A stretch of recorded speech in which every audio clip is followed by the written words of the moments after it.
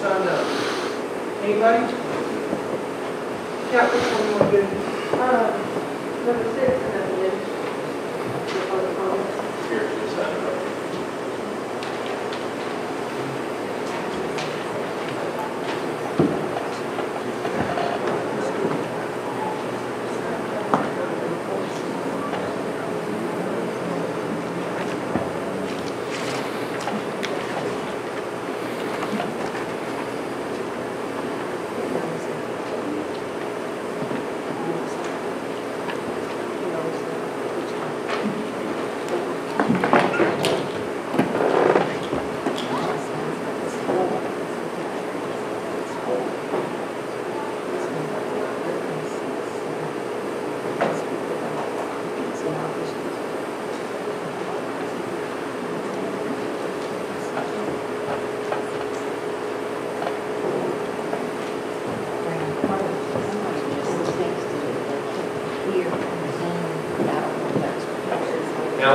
again if you guys are from the same household.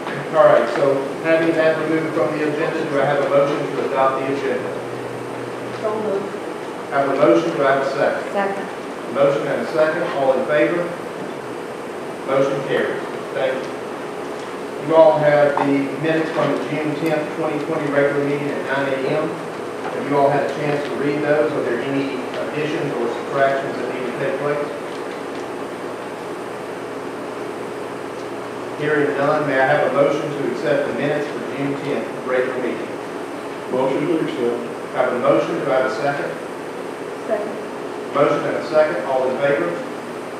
Motion carries. Um, municipal comments. Don't see any cities here. Constitutional officers. I know the sheriff's office is here. Do you have anything, we good. Thank you. And there we're doing department heads tonight. No. And we will be skipping item number six, department head comments. Next item on the agenda is number seven, and it is for public hearing number one, case number four. Do I have a motion to go into public hearing? So moved. I have a motion, do I have a second? Second. Motion and a second, we are in, uh, motion and a second, do I have a vote? All in favor? Motion carries, and we are in public hearing number one at 6:06 PM. Okay sure, I have a bum knee. I sit up front, and y'all excuse me for sitting during my presentation. sure. Thank you.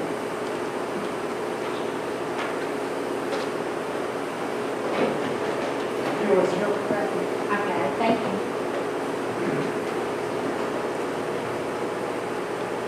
I've got loud colors so you can see the contrast against the white. Sorry about that. It's good to see everybody back together again. Uh, First case up tonight is case number four. We have uh, Jordan Pleasant and Rodney Purcell here. Um, Jordan Pleasant and Lanier Purcell were the agents for Rodney and Kimberly, and Lanier's not available to be here, so Rodney is actually one of the property owners. Their property is known as Map Parcel 168, 41-2, located in Land District 9, Land Lot 111, located on Mount Carmel Road. They're requesting the rezoning of six total acres from A1, which is a 25-acre minimum zoned area, to RD, which is a two-acre minimum, for the purpose of creating two three-acre lots to build family homes. The current parcel, again, is mapped parcel 168-41-2, and it consists of a total of 31.43 acres. This split, if approved, shall maintain 25-plus acres on the parent parcel for the zoning in A1 minimum acreage. Each proposed three-acre lot shall have a minimum of 200 feet of road frontage on Mount Carmel Road, which meets the zoning requirement of road frontage for the RD zone. The parent parcel will still have an excess of 350 feet of road frontage to maintain the required frontage of A1 zone. The surrounding properties are a mix of large and small tracts. Some tracts are less than one acre, and the larger tracts are all in, are in excess of 100 acres. The property values of neighboring parcels will not be adversely affected. The property value on new parcels will increase the value with improvements on this property. No improvements exist on the current parcels as they stand. No excessive or burdensome use of existing street, transportation, utilities, or schools is anticipated. The staff recommended the approval of the rezoning from A1 to RD on these six acres for the creation of two to three acre, of two three-acre parcels. In the planning commission meeting on February the 24th, the uh, planning commission's um, recommendation to the board is also for the approval of creating these two to three-acre parcels. Thank you very much. Um, Mr. Jordan Pleasant and Rodney Purcell, if you guys would like to speak on this, one at a time, you can come forward to the podium if you would like to, you don't have to. Okay, thank you. Anything else, Kat? I would mention that in the meeting with the planning commission, there was a neighbor who had a concern about driveway issues. Um, the Property currently has a drive that goes down to a lake about midway from the property, is that correct? And these two properties will access these homes off of that current existing drive, but they are fronting, road fronting, so if ever in the future, they will have access without having to deal with these. Thank you. Do we have anyone who would like to speak in opposition of this? Okay, thank you. And we speak come out of here. All right. So do I have a motion to come out of public hearing? So moved. Have a motion? Do I have a second? Second. Motion and a second. All in favor? We are out of public hearing at six P M. All right. Um, whose district is this? Sure.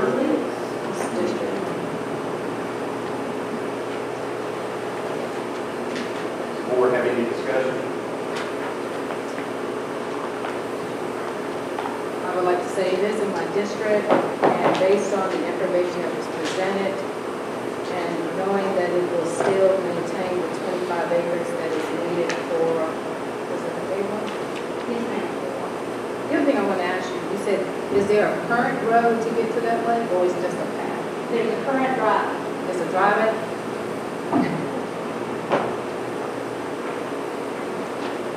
Uh, I'd like to put in a motion that we accept the rezoning of this property based on the recommendation from the planning and zoning and from our planning department.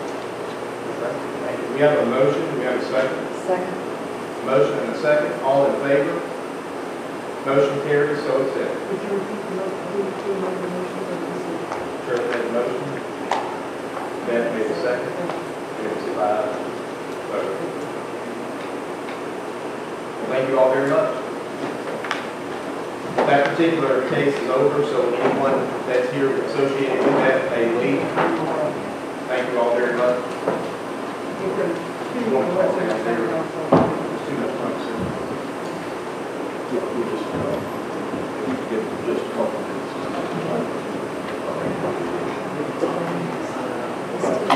And we'll wait and see if there's anyone else downstairs that wants to come up, so we'll take a short break and then give them an opportunity to sign in once they come in. It's all a learning experience for all of us. Mr. Chairman, one more, we're going on, um, when we're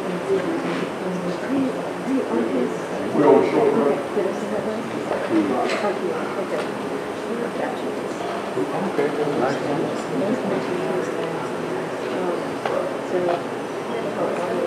on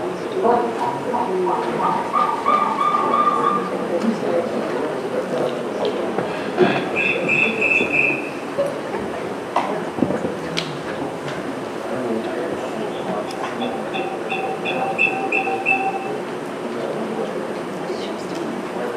reverting back through. I'm trying to set it up where it'll mute this and it'll mute this. And we'll-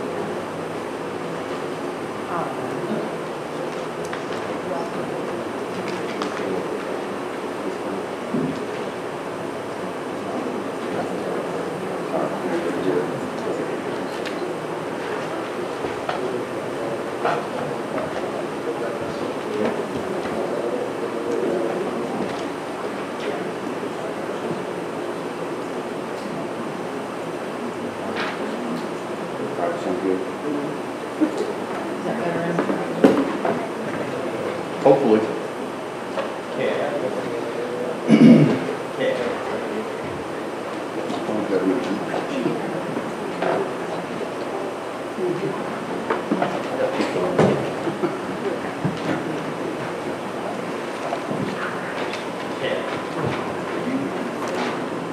I'm sorry, I can't hear you. In favor of, Number six. oh, um, is it, is, is there somewhere on there to mark it? Yeah. These were opposed, they, you were. That is what it says. She didn't respond, I asked. Well, somebody said something. They didn't respond. Well, it doesn't matter. They were, they were opposed.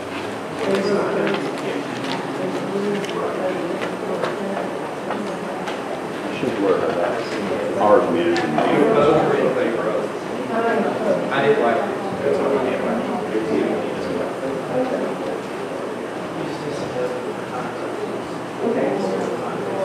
Hey, Brian. It's just for speaking purposes. Sorry, Karen.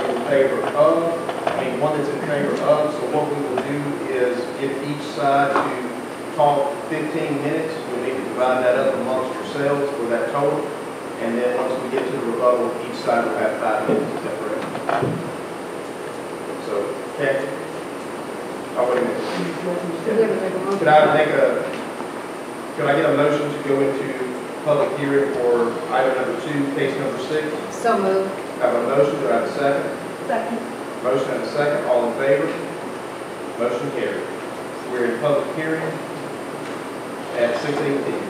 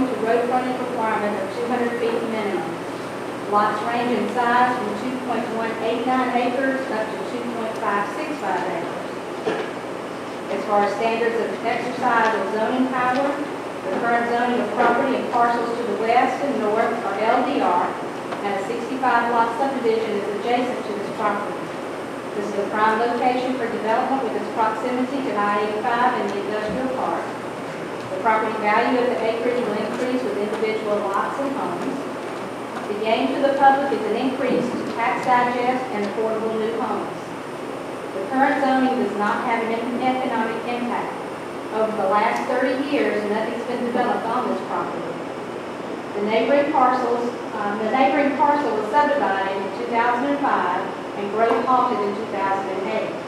The developer has once again begun building out the remaining lots, which is known as phase three of the subdivision next door, uh, due to the growth in Meriwether County. Adjacent other properties include single-family residences, farmland, and a commercial cabinet shop. On November 26th of last year, the Meriwether County Board of Commissioners approved with conditions preliminary plat and rezoning of Phase 1 Cocoa Estates, 15.299 acres to an RD zone, with conditions that included a subdivision sign with landscaping, three lots on the east side of Roswell Lee shall be 1.9 acres, four of the newly created lots shall be building sites for 1,450 heated square foot minimum homes, three of the newly created lots shall be building sites for 1,800 heated square foot minimum homes. Staff recommendation is to approve, is to approve the preliminary plat and rezoning to RD only with full compliance with the following conditions. The developer shall pay at his expense Culpeper Circle from Highway 54 to Culpeper Road using the specifications of six inch, six inches GAB, two inch binder, and two inch hopper with a three-year bond for one and a half times the cost of the job. Secondly, the developer shall also provide a turnaround at the intersection of Culpeper Road using county road specifications. The staff offered alternative options to the developer. The first option was to divide the 16.65 acres into three lots of five plus acres per LDR requirements. There be no rezoning or preliminary plan approval required. The second option was to create two five-acre lots at LDR zoning and two two-plus acre lots, are rezoning with the approval on rezoning of the two-acre lots from LDR to RD. As I said, we did not have a planning commission, so I do not have a recommendation from the planning commission, just that um, the recommendation to approve the plat and the rezoning would be with the paving and the turnaround were the two options were also presented. And that is your office's recommendation. Yes, sir.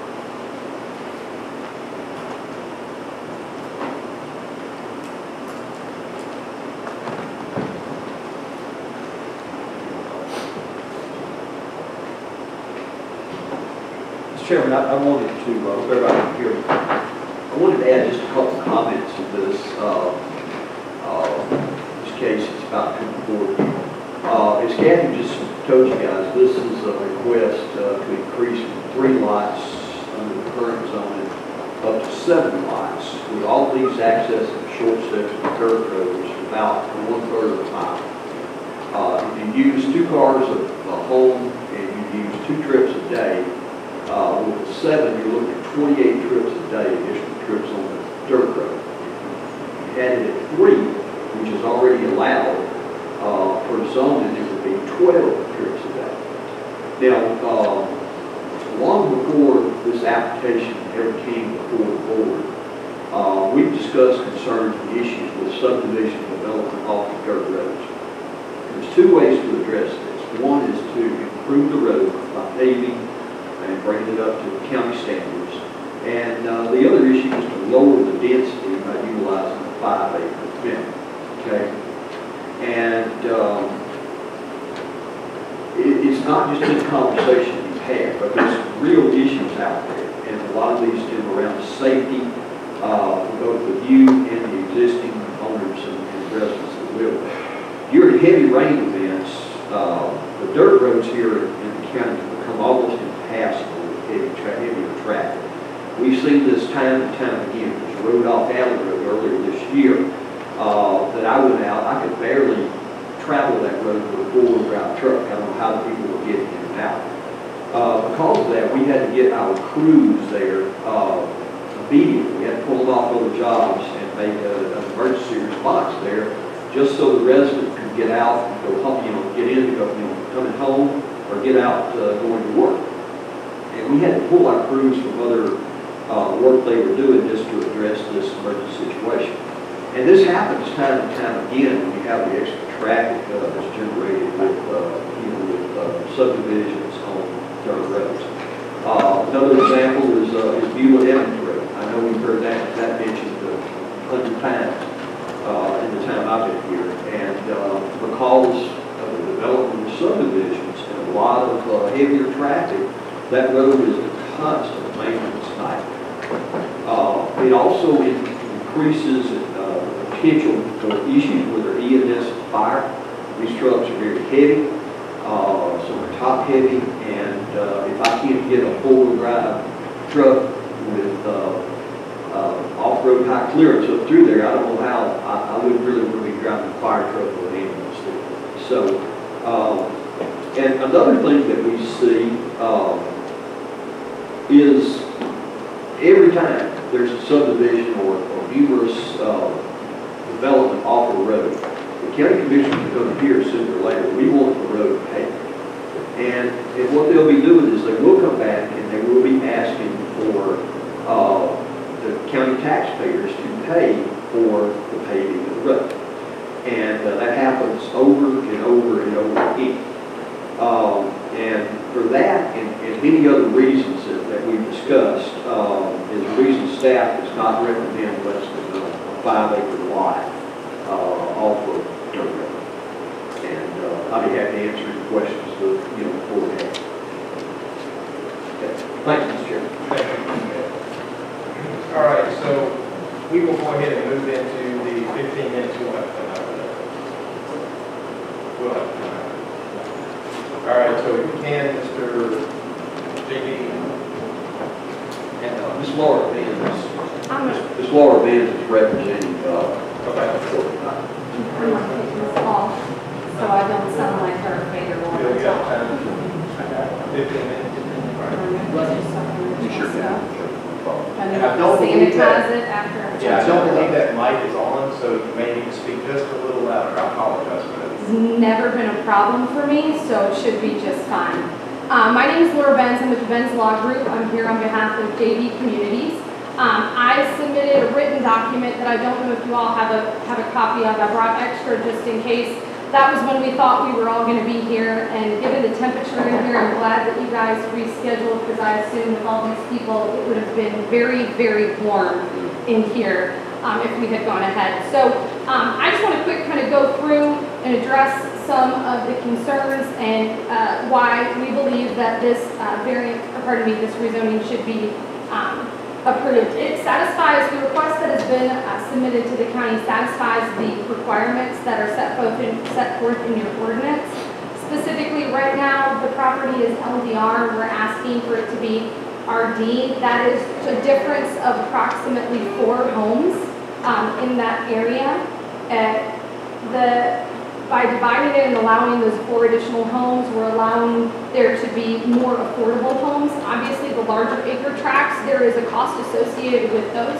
So when you allow it to be done in a two acre, you're allowed for more people to come and enjoy a rural landscape, but while also having an affordable home. Um, the actual definition of RD is a rural designation, so please let's all not be confused. This will still be a rural um, environment. That's why these areas are very attractive to people. They're looking for that rural landscape. Um, originally, the dirt road, obviously the county's recommendation is for it to be paved, but one of the main reasons that um, my client was attracted to it was being able to provide that rural feel uh, for potential homeowners. Um, the property that surrounds the area is not going to be adversely affected. They'll be able to still continue doing all of the activities which they typically would be doing. Um, they'll be able to do their agricultural activities. There will be no impact to them whatsoever. There we, under Georgia as well as federal law, we have a Right to Farm Act. We have other things that protect agricultural activities within the state of Georgia. We're a very ag-friendly um, state, so there should be no impact on any of that. As far as the property values, um, we are looking at giving a much greater tax base to the county. Right now, the parcel as it is brings in about thirteen, fourteen hundred dollars per year. If we were allowed to develop the homes at approximately two hundred thousand dollars of the structure value, you're looking at an increase up to almost twenty thousand dollars a year in taxes. So if you're talking about going thirteen hundred to twenty thousand as that increase in tax revenue for, um, for the county. This is located within the comp plan uh, peripheral growth area. It was what was anticipated for growth. It's along a major transportation corridor. Um, and so as far as the future use and comp as what the goals are of the county, we believe that this proposal satisfies those goals. Um, my client has proposed to adhere to every other zoning, uh, state, local, federal requirement with this, with this development. There are no other uh, variances or modifications being asked. He's developed approximately 40 homes already in Meriwether. um, with great success. He's known as being a reputable builder. There have been no complaints, no citations, nothing of that manner, um, as, as far as legally complaints on any of that construction. And I think that's important, uh, for the, for the commission to consider. Um, when we're talking about, I do want to add, I know that there was some concern, or there have been concerns previously about erosion, and what are you going to do with the stormwater, and all of those sorts of things. We are still required to have all of the NPDES permits, um, so which means that the appropriate erosion and sedimentation control measures are being taken. We're having silt fence, we're having all the stormwater, making sure that he's meeting the required flows under the blue book, and any other applicable restrictions to make sure that there's no impact to downstream or adjacent property owners. It is important to note that there are no blue line streams, there's no waters of the U.S., no wetlands, those sorts of environmental features um, that would be on the property that you could say could possibly be impacted by any sedimentation. We- This particular piece of property does not have any of those features. Um, So going back to kind of what we're talking about, we're talking about the proposal for seven lots versus the proposal of what would be three. So, um, as the administrator said, we're talking about four extra homes, and he kind of discussed a little bit of the usage difference between three homes and, and seven homes. Um, based on what has been proposed, he's not clear cutting the properties. All of the front part is being remained vegetated or, you know, wooded as it currently sits. Um, as Ms. Kathy said, the property has not been touched for 30 years, so it has a thick, you know, forested type of appearance. So all that they're cutting is the driveway access and the room for the structure, which is approximately a half an acre. So when you look at half an acre of disturbance, and we're talking times seven, you know, you're at about three and a half acres of disturbance out of the 16.65. So that's not a tremendous amount of disturbance. The existing vegetation should be able to handle all of that um, and serve as additional buffer for any other types of land disturbing activities that, that would be going on for the construction of the homes. Currently, the zoning requires that the property, um, any of the properties be built with a minimum square footage of 1,250 square feet. Obviously, there's been some concerns with phase one, you know, wanting to have a little bit larger of a home. We would propose that the limitation be a minimum square footage of 1,450 on this. Um, and that way that allows him to adjust to the market. Obviously, if people come and say, I would like to build an 1,800 square foot home, they're able to do that. But those people that may not be able to afford an 1,800 square foot home would still have the option to come in and move into Meriwether County. Um, one thing is the need. We talk about, Meriwether in your comp plan talked about that one of the biggest things you need is new affordable housing and you needed some smaller homes to fit that niche. I had done some research when we were supposed to be here in May, and it changed a little bit since then. But I did, uh, I contacted or looked at our good friend the Zillow and looked to see how many properties are available with certain square footage sizes. And back in May, there were approximately uh, 29 homes that had a square footage of approximately 1415 to, pardon me, 1,450 to 1,800 square feet. 10 of those were in foreclosure, and that is across the county. If you ask, hey, how many of those homes were built within the last 20 years, we dropped significantly down. When I looked at that now, today, if you look at houses that have two acres or more, um, pardon me, two acres or more, there are 43 properties. When you say, okay, how many are 1,750 square feet or less, which is because I have to pick the Zillow windows of, of what they do for square footage. You drop down to 21 properties. If you look at from 2000, which houses have been built before, pardon, after 2000, you drop down to five. One, which is a shed, by the way. I mean, it literally is, a, it's a shed, it's not a true house. So you're talking about, if you want a house in Meriwether County with two acres or more, with, um, under 1,750, pardon me, 1,750 square feet, you have four houses that have been built in the last 20 years to choose from. That's it. So this is definitely serving a need. Phase one is already completely sold out.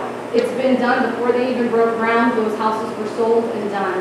There is a need and a desire to move to this area and to help, you know, grow and, and, and get involved in your community. Um, I think, you know, we're just talking about the difference between three and seven homes. Obviously, as a developer, it becomes easier to provide a more affordable option by having and breaking down the acreage. People don't have to buy that cost. We would assert that, um, that we should not be paving the road. One, it's the nicest gravel, or pardon me, dirt road that I think I have ever been on. If you've ever driven on it, it was one of those where you start driving and there's like no even bounces. It's just a nice smooth road, which is probably part of the reason that these folks love living on that road.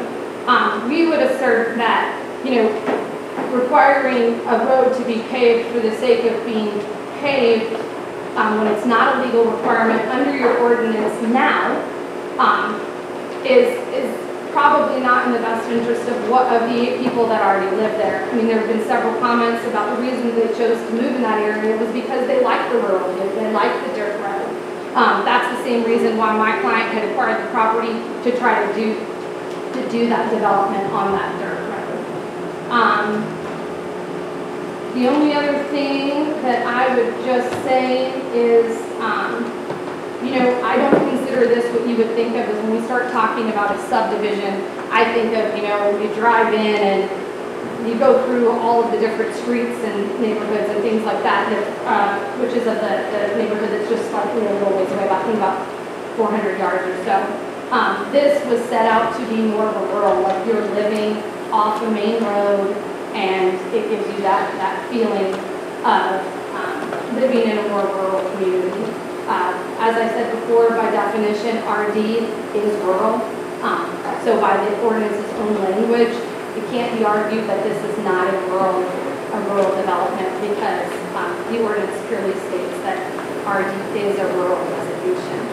Um, if you look at the back of the map, pardon me, the back of my, the submission that I provided to y'all, there's highlighted so you can see that there were already four or five houses, pardon me, properties that were less than the five acre minimum, even on Culpeper Circle. So there are existing properties within that proximity that already are less than the five acre minimum um, that, that is currently zoned. And I think I've covered just about everything that, that I want to for now, and I'll just um, reserve any time to answer any of the questions or provide. Thank you very much. Thank you. Anyone else wanting to speak in favor? All right, we will move to the next fifteen minutes, but we have five individuals who have signed up. Um, Ms. Lassiter, Jacob, Jack? Jack, John Reynolds, Nico Montague, and Kat Jenkins. So we'll need minimum of three minutes each, but a total of 15. So if some go over, then we'll have to adjust that at the end.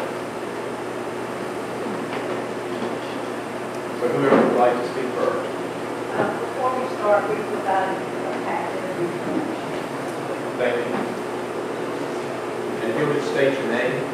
Jack Platinum. All right, Mr. Lassiter. Good evening. We allow the citizens who are unable to attend today due to COVID harassment to vote no to the zoning of phase two of Culpeper Station, LDR five acres, uh, RD two acres. At the November twenty-sixth commission meeting in the minutes, it is noted that Minister Getty indicated he would have to deal with five acre lots, as well as there are multiple correspondences in this important order from the building zoning department director indicating he cannot build a subdivision on the dirt road or request zoning rezoning without the road being paved. The building and zoning director wrote to our lawyer that a subdivision phase two cannot be done under subdivision and will not be allowed on dirt roads and Mr. Byrd has been notified. For our open records documentation, these numerous emails and correspondence have been provided to you, so we are, we are even, why are we even discussing phase two of Culpeper Estates? Is the road being paved? So now the builder wants seven lots or a compromise of some kind so he can find a cheap way to build a subdivision without having to do his part for the citizens of Meriwether County. There are six homeowners and two landowners on Culpeper Circle and Drive, along with concerned citizens who are against this rezoning to accommodate builders. Is this the precedent we want to set for our county? Citizens citizens and the county will be left with a mess when the moves on, which is evidence in the sloppy paving of roads at Underwell subdivision. Culpeper Circle consists of farms from thirteen acres to sixty acre tracts and homes from nineteen hundred to thirty-eight hundred square foot. The average size of the home is twenty-five hundred fifty square foot on Culpeper Circle and Culpeper Drive. The rezoning to RD for a subdivision will adversely affect our farms and home values. Culpeper Circle should remain the LDR five acres and continue to serve as our buffer for our farms and the RD zoning for the newly created subdivision on Roswell Road for the building. According to the Mini County Director email correspondence, Administrator Getty received from our open record request the subdivision law, the subdivision cannot be built on dirt road nor any land. We're asking if you would allow anything to be built, the square footage of homes should be comparable, requiring twenty-five hundred each square foot homes to meet the existing average home size on five acre plus lots, even though the builder should not be permitted to build at all in phase two on dirt road. We have been dealing with Culpeper Estates Phase One and Two, JB communities for ten months. Why wasn't a master plan community not requested for our Meriwether comprehensive plan to prior to building and approval? We're asking you to vote no to the zoning of the as proposed. Thank you. Thank you.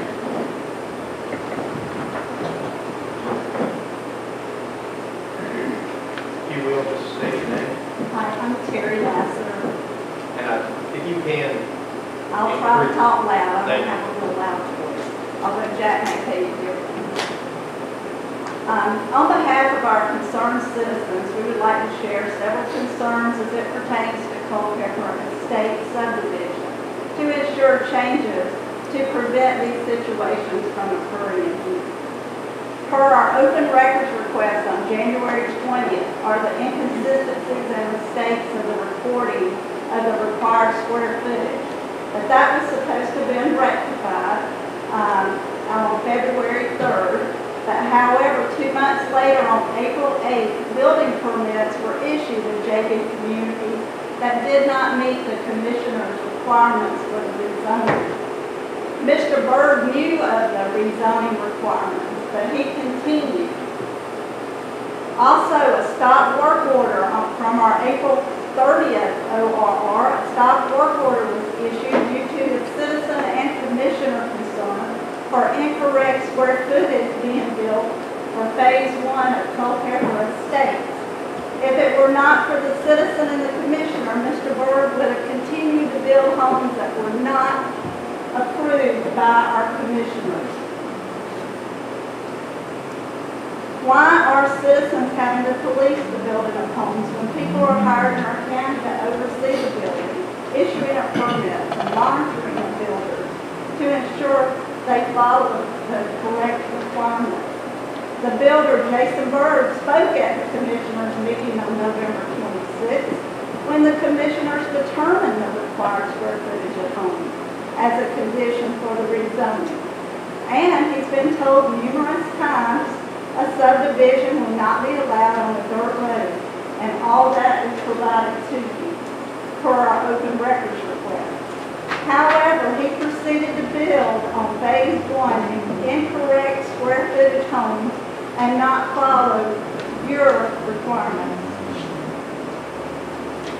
And now the builder wants land rezoned to two acre tract on dirt road to accommodate him for phase two.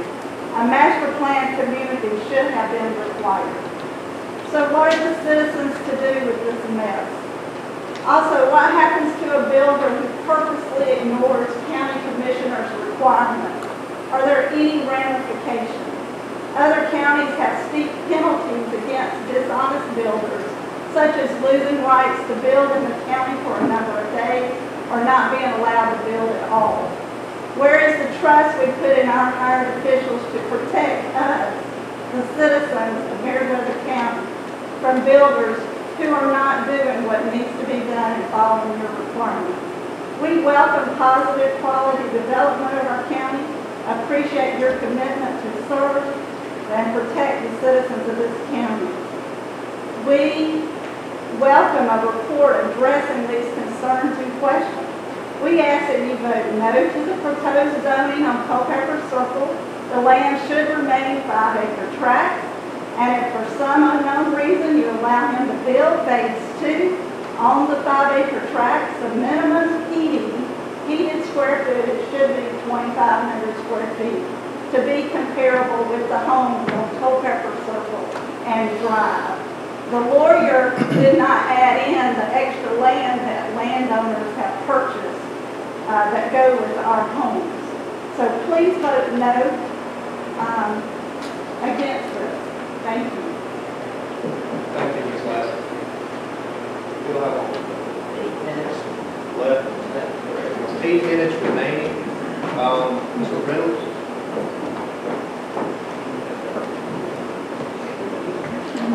I'm John Reynolds. Um, just wanted to add, add a couple of things, really. I'm not sure, I keep hearing that this dirt road and subdivisions, and I'm, I'm a little bit educated, but in the Meriwether E-laws, it states for the subdivisions in Article 11 that paving is required for any subdivision. And if you remember back in November notes, this phase two, regardless of how, even if you build one home on it, it's considered part of phase one, and that means it is a subdivision. So either you have to give them a, an allowance to keep it unpaid, or it has to be paid. So I'm not sure where all this is coming from. The other question is, where, where's the buffer gonna be between Terry and Jack's land that's LDR and these, which are gonna be RD? There's only a road separating. So what in our laws, uh, do that? Um, also, I'm asking that you support the citizens in this meeting. If you remember back in November, we got over 200 people who were signed up in support of what we were doing to not allow these buildings to happen. And the commission granted to allow Mr. Byrd to build, which is fine. That's, that's totally within your right. But as Terry suggested, there's been many things that have happened since then with this building process. The other thing that I will call out is, I don't even, it's not even my job, but I don't even believe that the culverts that are actually installed in phase one are in accordance with your subdivision ordinances as they are, are now, because they're black plastic. And the ordinances require them to be either concrete or, um, galvanized pipe. So, that's all I have to say. Thank you for your time. Thank you. Six thirty. We have six minutes and thirty seconds left. Mr. Nico.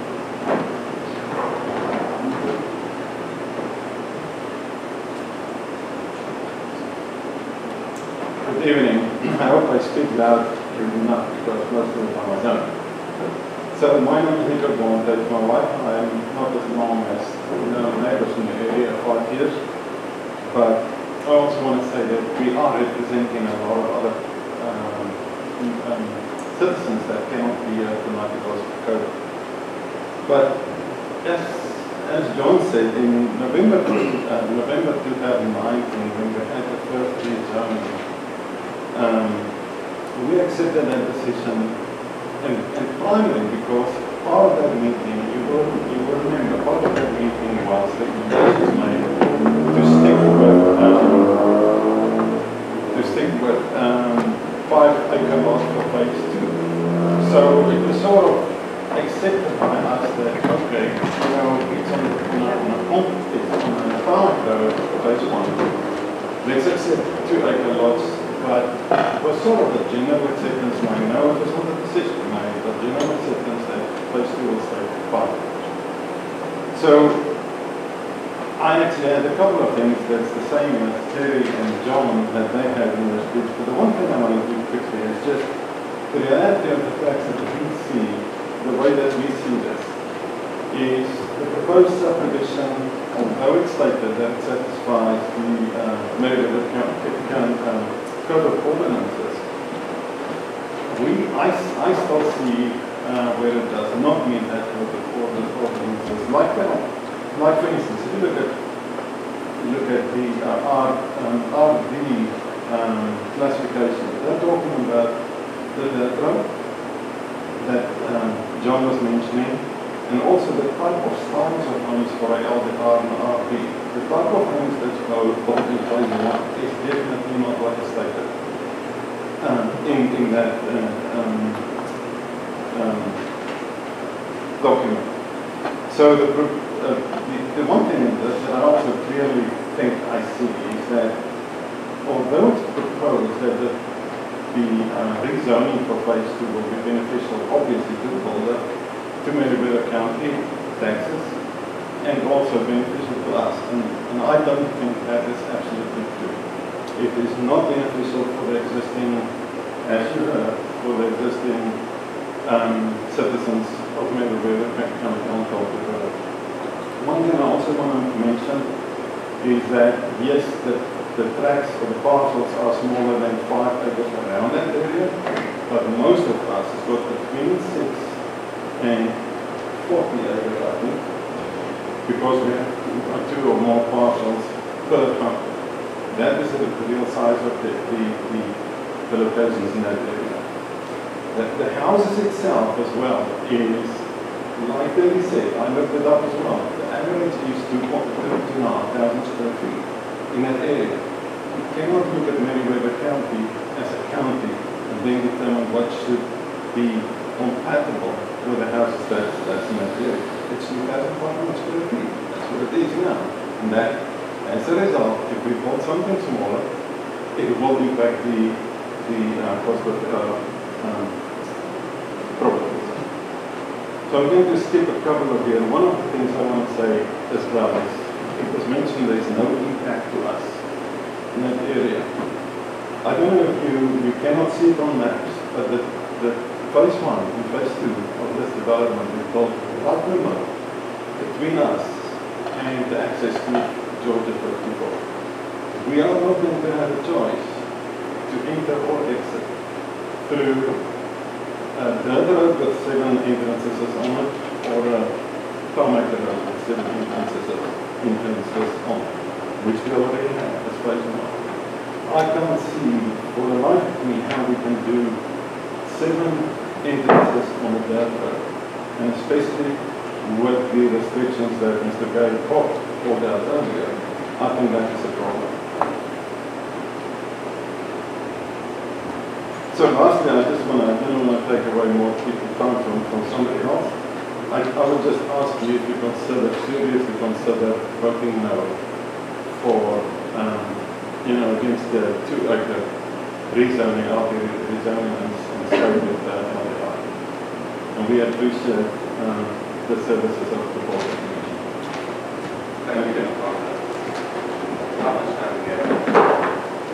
Thirty seconds. Can you get it in a third? Well, I'd like three, because I was keeping track of the time, and I had thirteen minutes, thirty seconds. Not a whole lot of difference, but Thirteen thirty would be a minute and a half to fifteen minutes. you're right. Good call. Um, so with that, I'll go ahead and start. Um, what I'd like to say is that I live in this area and I drive by a, uh, development that JB Communities has already done and it's on Ellis Road. And there's a dirt road that goes onto the main road. And as I mentioned in a previous, um, the previous commissioners meeting, the condition of the dirt road is eating into the hardtop, and it's in, and it's in a lot worse condition than it was uh, eight months ago.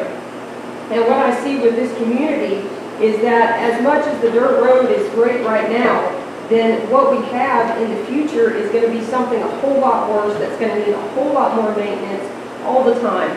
Um, The attorney spoke of the rural nature and the um, uh, beauty of living in a rural area, and that's one thing I love about Meriwether.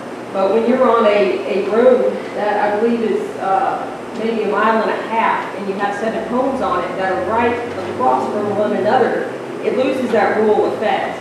And so I think that the best way to keep the um, rural beauty of this area is to make sure that the lot sizes stay at what they are in the comprehensive plan, that's in accordance with what zoning is right now. And so with that, it's something that we just need to do. The other part is that we've already seen that this builder has not respected our zoning, our laws, they've flouted what they can, and so I don't think we give him another chance. Thank you. Thank you, Ken. That does conclude our amount of, yeah. So we will give five minutes rebuttal time to each side. And we will start with Ms. Benz. I'll get first. Yeah.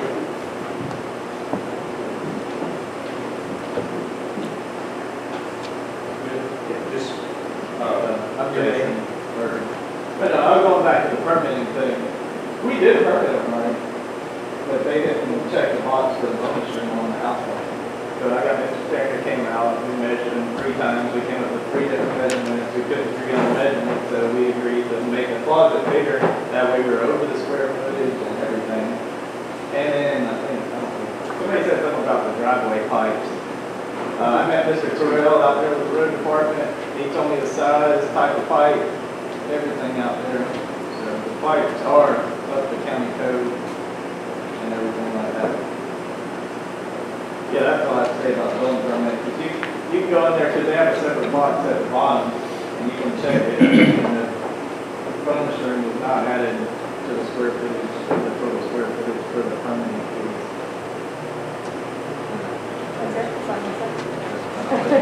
Like, Is this yours or is this his? That's, Okay. that's, that's actually going up on the internet. Oh. Okay, thank you very much. So I, I just wanted Jason to have the opportunity, since there were some, some accusations about him, you know, not being honest, to actually rebut those on his own.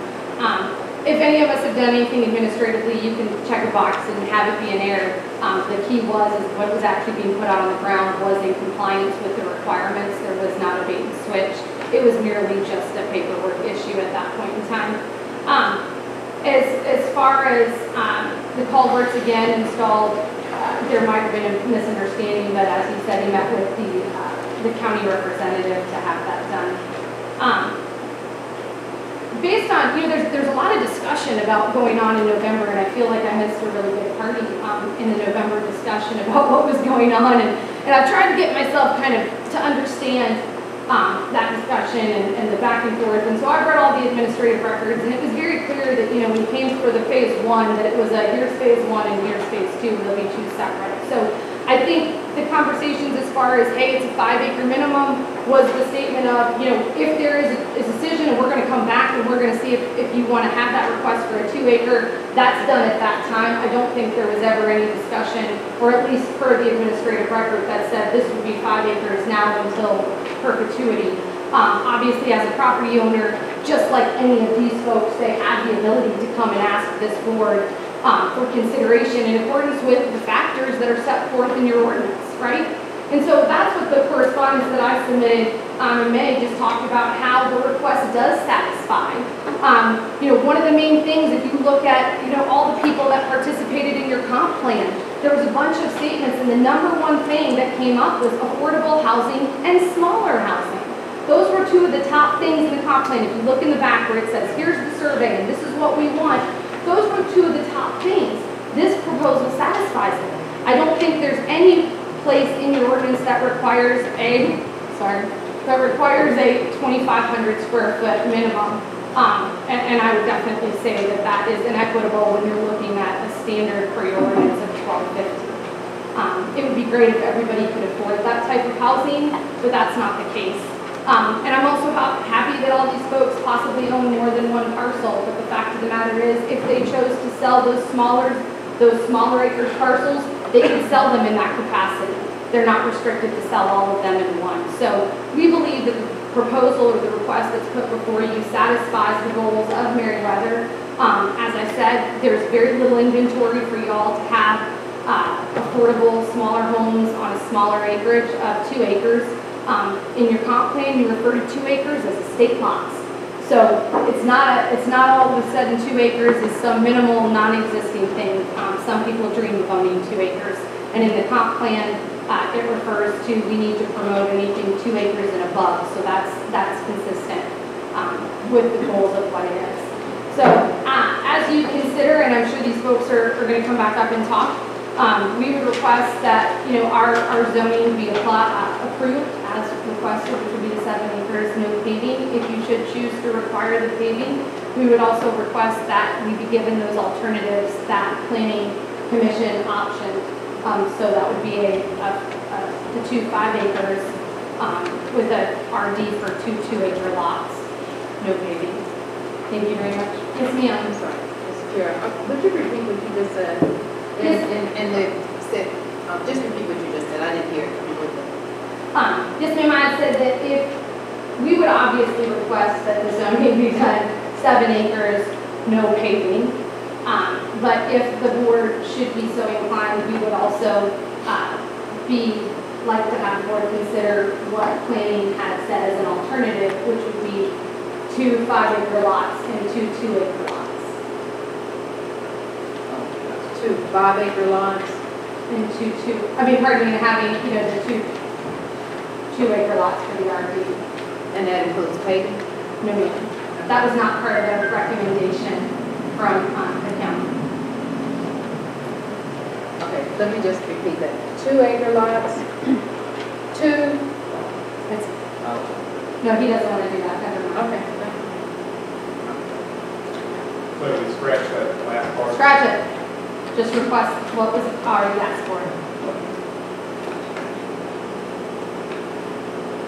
All right, thank you. And we'll give five minutes for rebuttal on that.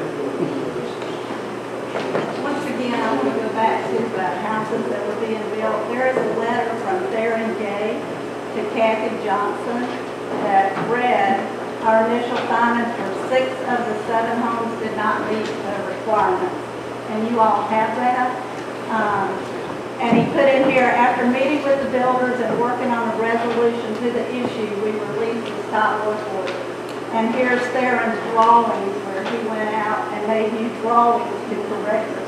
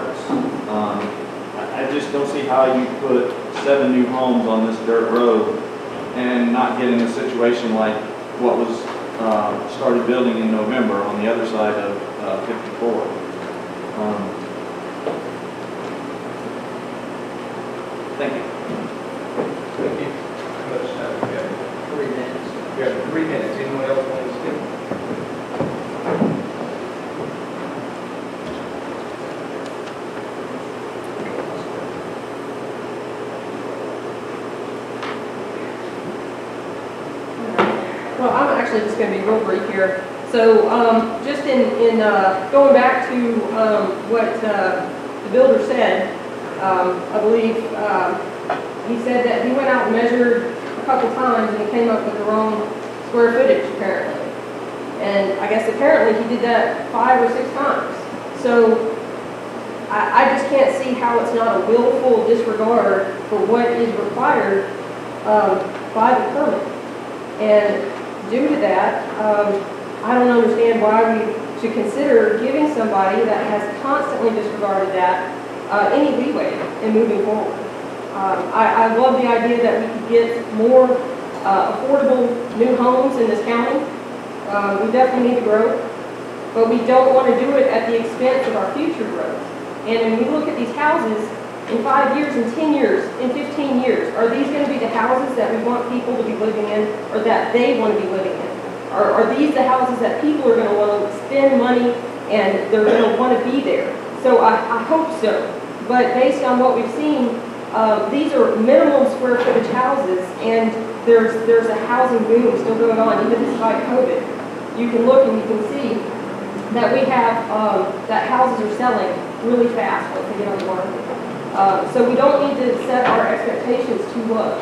And I think that our community, and especially since we have the nature, which is a a rural development, um, low density rural development, that we don't sell it short. And that we make sure that the people that live in these areas um, aren't living next to houses that in 10 or 15 years become run down because they're not of the best quality that they could have been.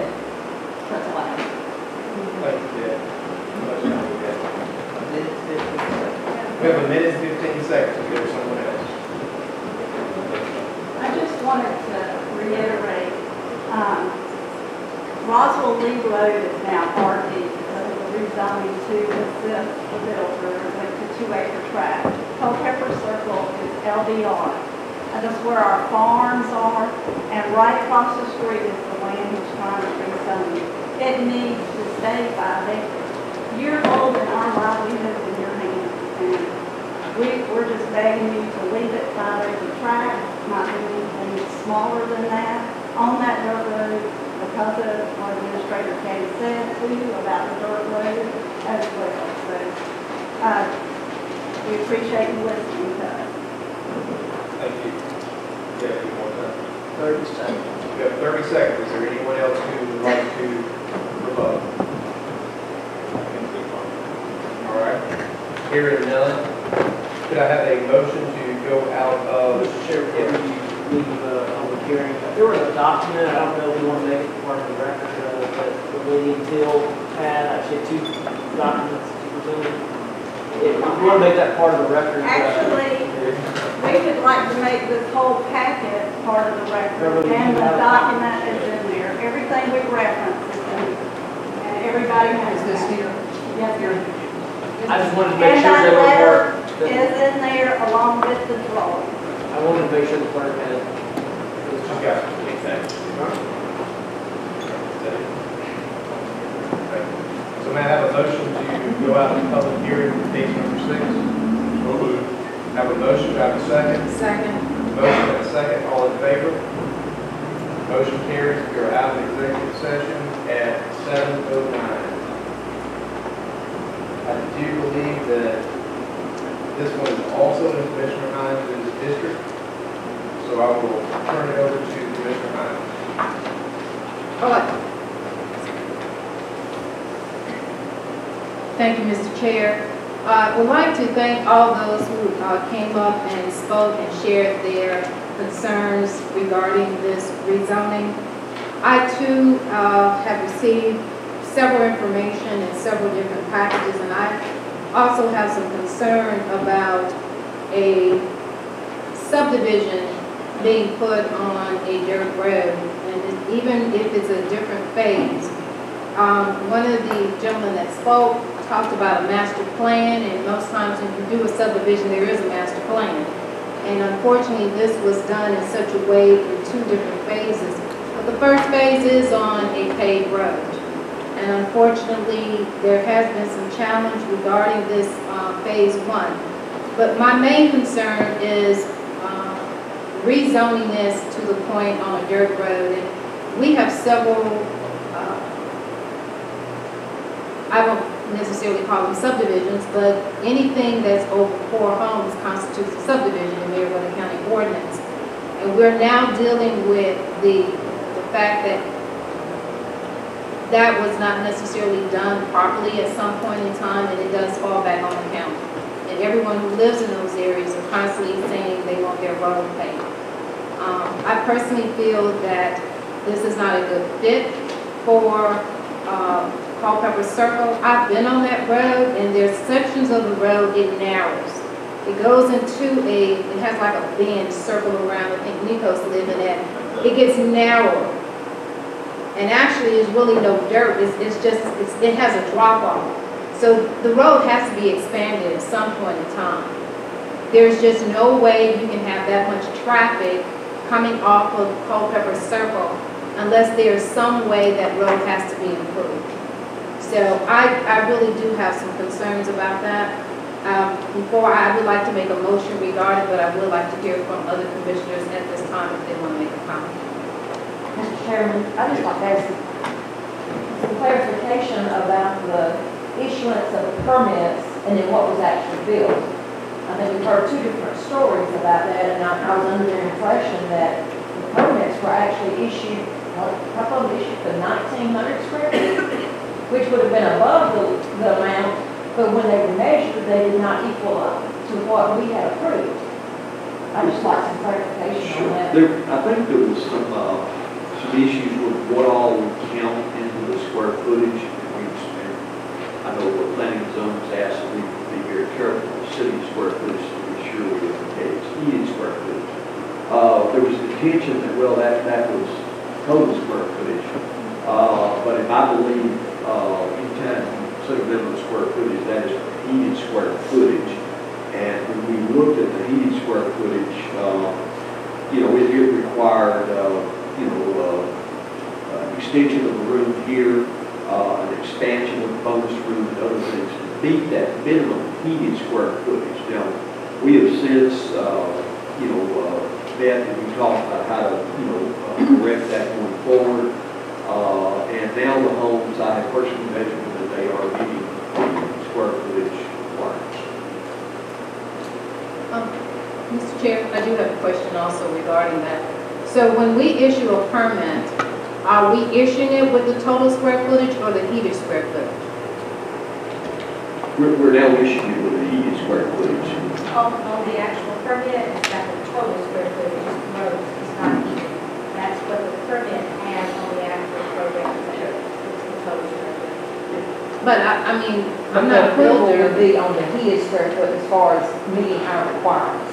Yes. so when, when, Anytime you set a minimum square footage, that is really considered heated square footage. Because you, can't really take into account the, uh, the garage or garage, the carports, uh, patios and everything of that nature. You have to have heated square footage. So based on the different information that was given to us, out of the seven homes that were proposed that had a permit, six of them did not have the right square, heated square footage? I think, uh, Ms. Lassiter has the uh, information there. Uh, I can't remember, I mean, I know the majority did not. Uh, and I went out, know, I had, there was more room to do the expansion. It it involved really a, uh, an extension of a room, I think, off the the dining area, and kitchen, and expansion of the, uh, bonus room above the garage.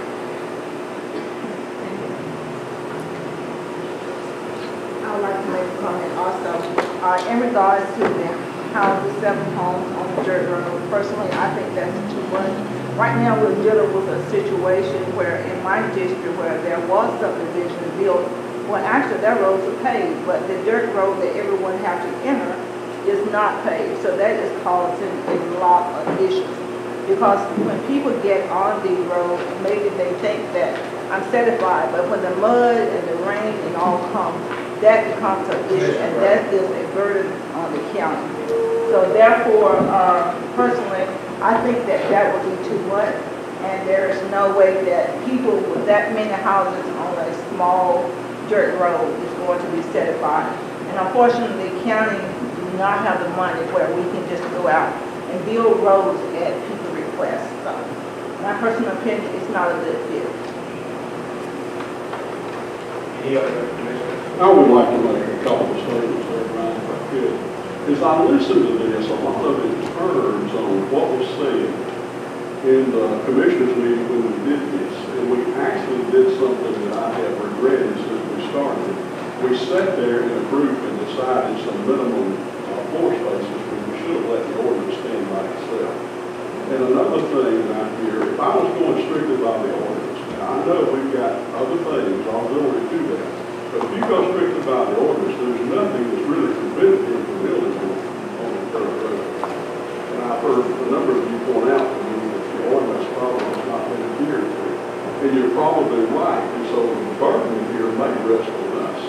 We need to go within this whole thing. I don't know. But just listing, I don't know if it was so much just uh, uh, an unwillingness to follow, but when you start making, giving dimensions and things to where he sit, it's rather hard to do. So I think that was one of the errors that was made in this whole process. That's all. Mr. Chairman. Mr. Chair, um, I would just make a comment on that. Board of Commissioners do have uh, an option to have conditions on any of their uh, ordinance. So even though we have a standard to go by, there are times where you have to make some provisions with that. And like most counties, we are growing and we've got to make adjustments along the way. But that is one of the options that the board has. So we had that option to provide that in those conditions. And we've done it in other cases as well, so I, I just want to make sure that um, the citizens understand that we do have certain guidelines that we have to go by, but we also can make adjustments along the way. Well, basically, what Commissioner Hines said is um, what I want to follow up on. We met there in good faith that night in November, and we came, you know, we offered some suggestions, some, some way to compromise and make, you know, everybody happy, and we agreed on the square footage. Now, it may not be what's in our ordinance, but we do have the right to put conditions when we are rezoning. And I'm not real sure what happened with the, the square footage on the homes, but something's not quite right there. And I have a little trouble issuing, it- giving a variance or rezoning again when I'm, I'm not completely satisfied that everything was done on the up and up in that situation with square footage. Thank you. Any other commissioners have any additional comments? All right. Hearing none, I will turn it back to Commissioner Hines. Thank you. I'd like to make a motion that the rezoning is denied, that it will stay and remain as LDR and the five acre lots. A second. Okay, so we have a motion by Commissioner Hines, a second by Commissioner Hadley. Motion and a second, all in favor? Opposed? Motion carries. Four. Thank you all very much. Um, That's it for this particular public hearing. You all do not have to stay for the remainder of the meeting. Just a second break. And we'll take a 10-minute break and really, thank you. Thank you. It's good work, everyone. I guess, well, it's gonna be a race in the back. Brady, you getting a workout over there? Just this arm. All right, we're gonna do uh, short break here, I'll give you the sound.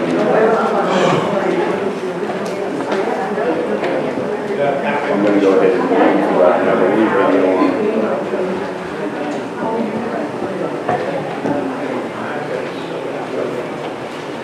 um, what they just voted on was whether or not to accept, uh, allow the, to continue, to to the current, um, proposal, uh, it was voted down before the one with uh, Commissioner McCoy,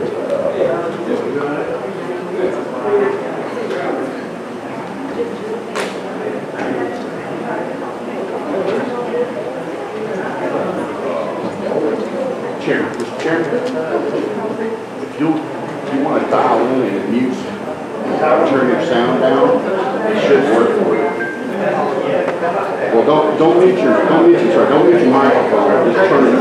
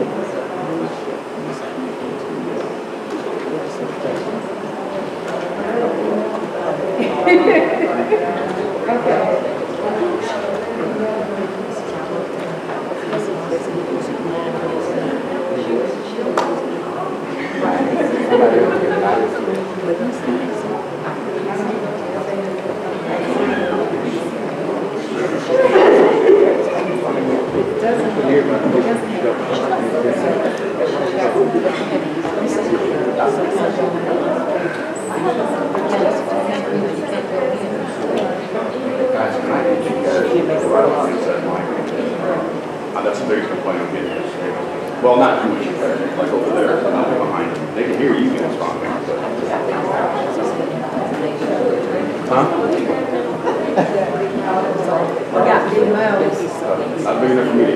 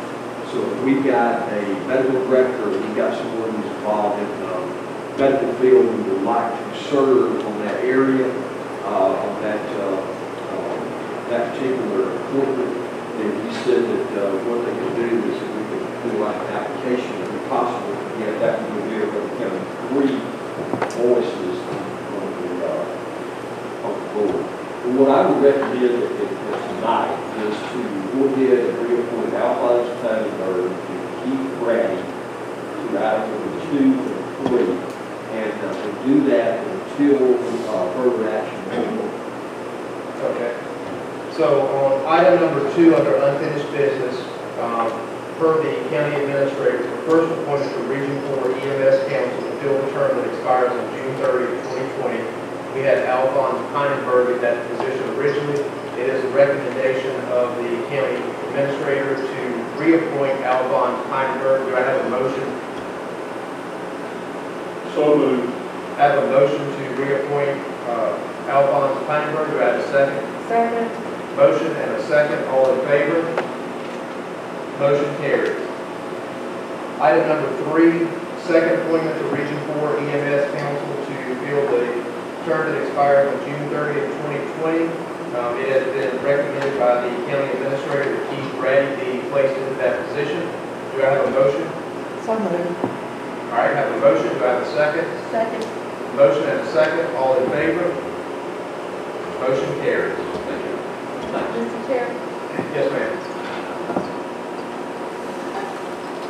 From what Mr. Gay is saying, that they still need someone at large to, to fill, so how many spots, how many, There there are three at-large spots, okay? And they come from all across the region, probably eight counties or so in the region.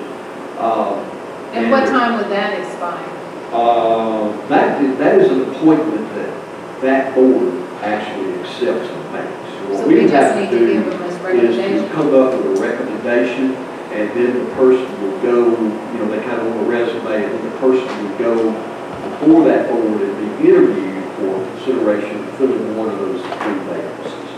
We probably need to add that to the next agenda since it's not on the agenda tonight, or we can add it to under new business tonight if anyone's ready for that. Well, the only thing I would like to know is what are their main requirements, so if they can give us a, a list of what it is that they're looking for, what skill sets they're looking for, so that if we, if I know of anyone or think would be a good fit, so they can later on interview them, I don't want to recommend someone that's not meet their requirements for skill sets. So we can place that on the next agenda, and maybe the county administrator get the requirements prior Yep, to. that's all I'm asking. I can do that. Thank you. All right, thank you. All right, we'll move on to item number nine, new business. First item under new business is Ms. Veronica Dowell, uh, request on behalf of Ms. Beverly Ball, Executive Director of the American Union Relief Society Incorporated, AURS, summer focus learning program for funding in the amount of twelve thousand dollars. Ms. Dowell, you're here tonight? Come forward.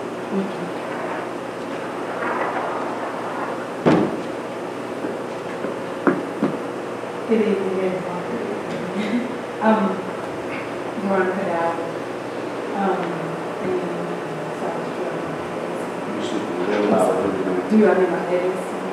No. Okay, um, yes, I am here on behalf of Ms., um, Mrs. Beverly Ball. She's the Executive Director of the American Union Relief Society, which is better known as ours, uh, Summer Focused Learning Program. And what we would like to do is to request twelve thousand dollars from the uh, Meriwether County Sheriff Department. As you all know, we are in times that are so unconventional and so many changes that are going to have to be made to some program that we're not trying to, uh, we're still trying to make sure that we at least do something for the youth here in Meriwether County. And the reason I say that is because, uh, Ms., um, there's one summer program that's still going on right now, but it's not gonna start until July, and that was our thing, to of start in July. Uh, and looking at the things that we're gonna have to purchase, like supplies, endless amounts of hand sanitizer, uh, wipes, and, and just, um, thermometers, and, you know, a lot of different things, to just make sure that we get a, have a safe, happy summer for our youth here in Meriwether County. Um, that's the amount that we're requesting right now, and we're hoping that that's a great amount. We, we're hoping that that's a good amount to get done, we're looking at do, work, looking at doing with the youth. The program, we're looking to tentatively start a program on, on, uh, July fourteenth. Um, we know that one program is already running two weeks, um, after the fourth of July from that first week and the second week. So these are gonna be tentatively that week, which is on a Tuesday, the next following week, or a couple of weeks after the fourth of July, or the week after that. It's not set in stone yet, based on the school, because we've already been given permission to still use the sixth grade wing of the school at Greenville Middle High School.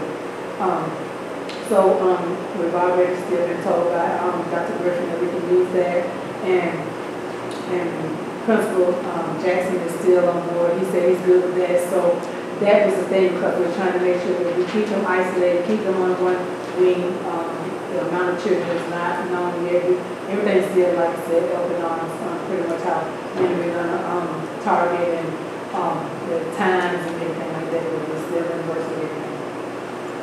Okay. Thank you very much. Commissioners have any questions? Mr. Chairman, I do. Um, I, I think I was sitting on the board the very first time this fall ever came and and requested, and I think the first request we ever did was a thousand dollars. I mean, it's been several, several years ago, but it got my attention this time because it was going from seven to twelve thousand. And, and while this fund is generated by fines, which technically, I guess, comes under law enforcement, Board of Commissioners have to, we're the ones that have to make a decision on this. The um, sheriff's office cannot. And I just want to remind the commissioners that there's only, there's only like three or four things that you can use this money for, and that's drug court, drug treatment, and drug education. And I, with this kind of amount here, I'm just a little concerned, I mean, because I know the whole program is not about drug awareness, I know you do something with that.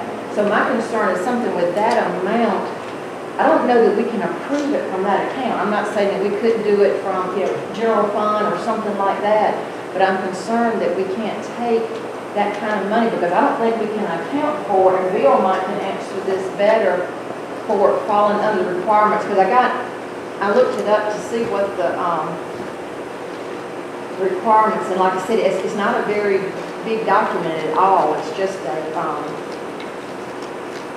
maybe I can make that a minute pull up, but it just says, you know, there's three, thi- I think it's just the three things, drug treatment, drug education, and, and like, you know, I know you got to buy sanitizer, or hand sanitizer and all that, but see, in actuality, that wouldn't fall under legally what we can do under these funds, so I just wanted to bring that to our attention and see what, you know, everybody else thinks, or what our other options might be.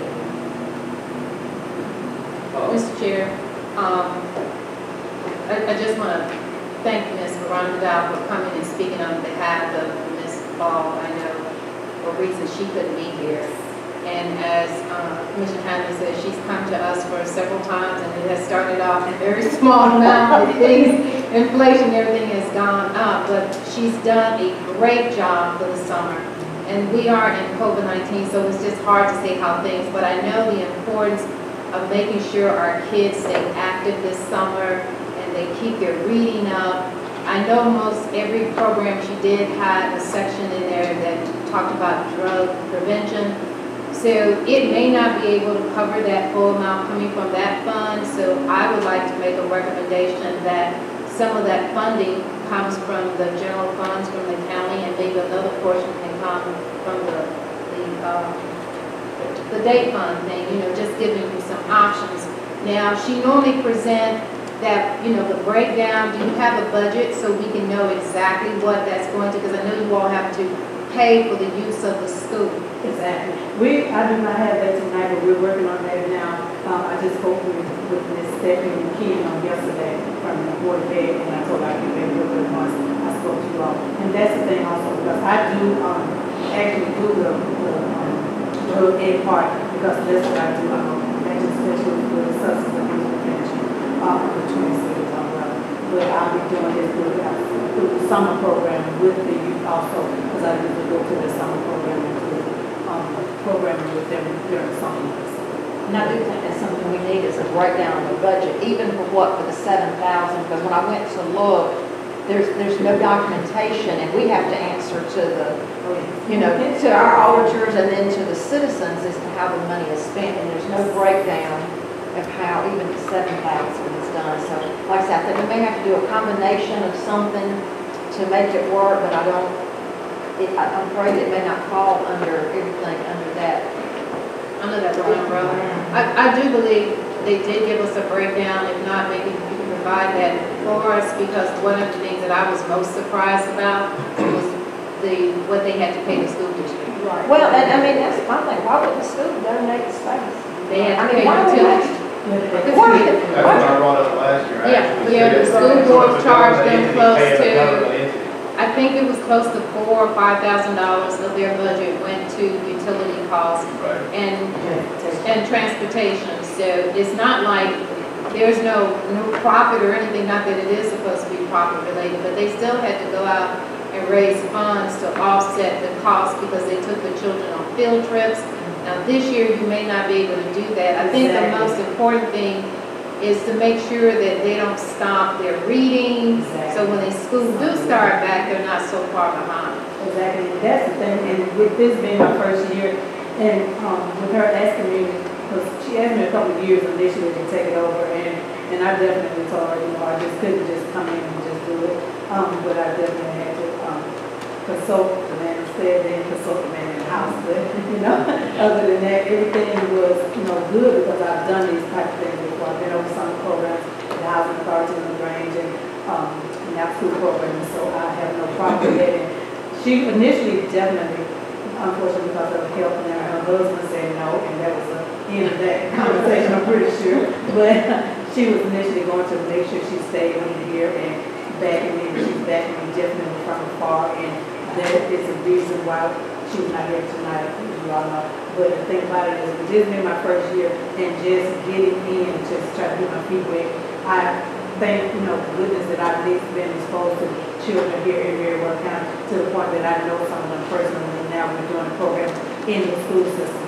So that's the reason why we were trying to figure out how to get a higher number to make sure that we can, like, um, Commissioner Hines said, keep them engaged because they haven't been engaged in months. And I haven't even seen them in months, that's my thing, to worry about what's going on in Vegas now, to be able get them engaged. Um, there's, um, school is still not even until the next August, so even for those few weeks, we want to keep them doing something and engaged. And I I understand that, and I think, you know, it's, it's not time for our new budget so I think Mr. Bill will even tell us if we have any funds we can pull from, and maybe you could speak to that, I just don't want us getting in trouble.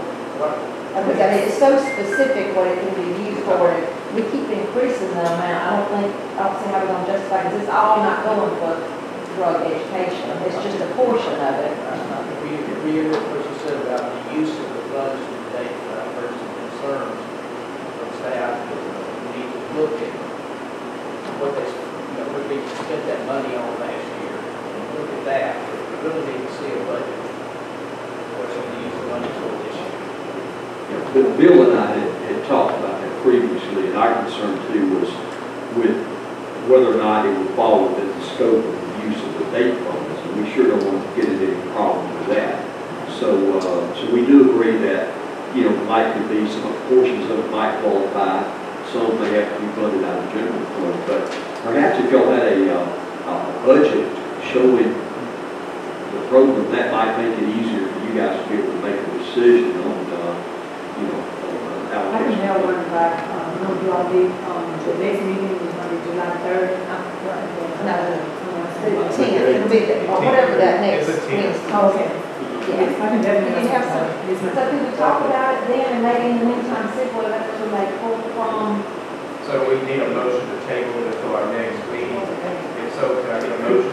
Just a second, could I ask one question about how many children do we serve? You may have said, and I just missed it. Oh, no, um, yeah, when I talked to, um, Principal Pat, um, when I talked to the principal, he, the sixth grade wing, just using that wing, we're looking at at least ten, if they have ten rooms, they said they have ten rooms.